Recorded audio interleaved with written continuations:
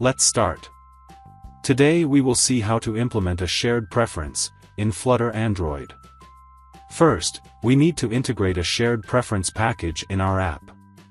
To do that, click this terminal icon. Write this command and hit enter. Wait for the operation to be complete. Then, open the pubspec.yaml file. And click the pub-get button. This will integrate the required package into our app. Now, let's look at the main.dart file. These are the imports. First, we create the stateless widget called myApp in the main function. This is the myApp stateless widget. We create a material app and apply a theme in the build function. The home attribute is set to a stateful widget called My Home Page.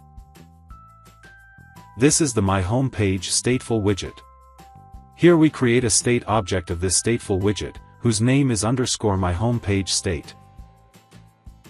This is underscore My Home Page state class, here we will design our app. This is our shared preference variable. In the build function, we have a scaffold widget upon which we will build other widgets. The app bar attribute is set to the app bar widget. Here we specify the title of the app bar.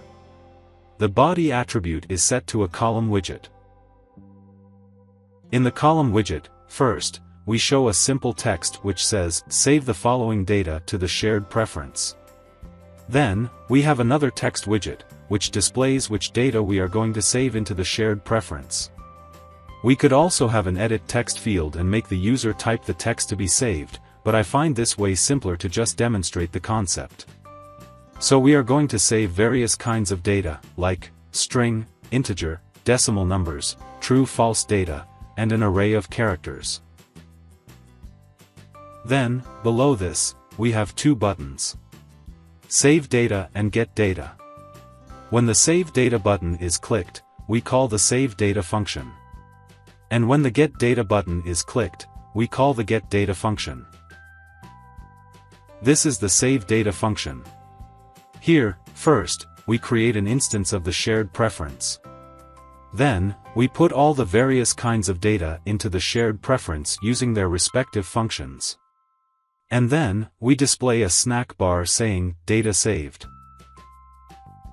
And this is the getData function. Here, first, we create an instance of the shared preference. Then, we retrieve data of each kind. Then, we store all the data in the string format in a variable. And finally, we show that variable in a snack bar. Let's run the app.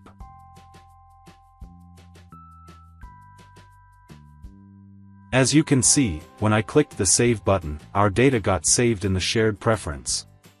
And when I clicked the Get Data button, the same data was retrieved and shown in a snack bar. So that's it. That's how you can implement a shared preference, in Flutter Android. Thank you.